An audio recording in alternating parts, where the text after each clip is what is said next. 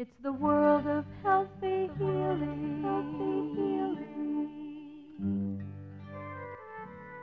Welcome to the world of healthy healing with Dr. Linda Page. Why does over 80% of the world's population depend on the healing power of herbs? You'll discover the answer to that question as we look at herbal healing in the world today.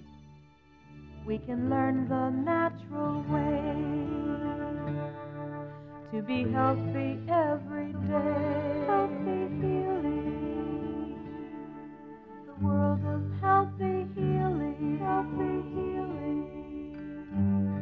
Unleashing the healing power of herbs.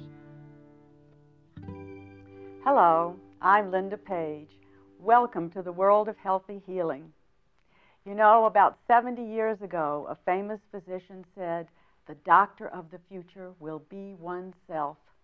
I see that coming true today. Even with all our institutionalized healthcare plans, people still want more knowledge about their bodies and they want to take more responsibility for their health. But if we're going to be the doctor for ourselves, where is our medicine? Our medicine is all around us.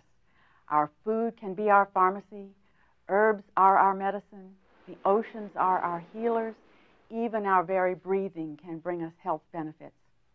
These things are truly healthy healing, and they don't need pages of warnings or lists of dangers. Everyone can use them. Throughout the ages, herbalists have been esteemed as natural healers. I see natural healing as vastly different than orthodox medicine.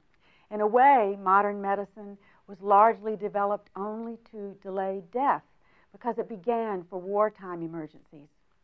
Natural healers look at your aliveness and your life. They know that you can improve the state of your health no matter what state your health is in.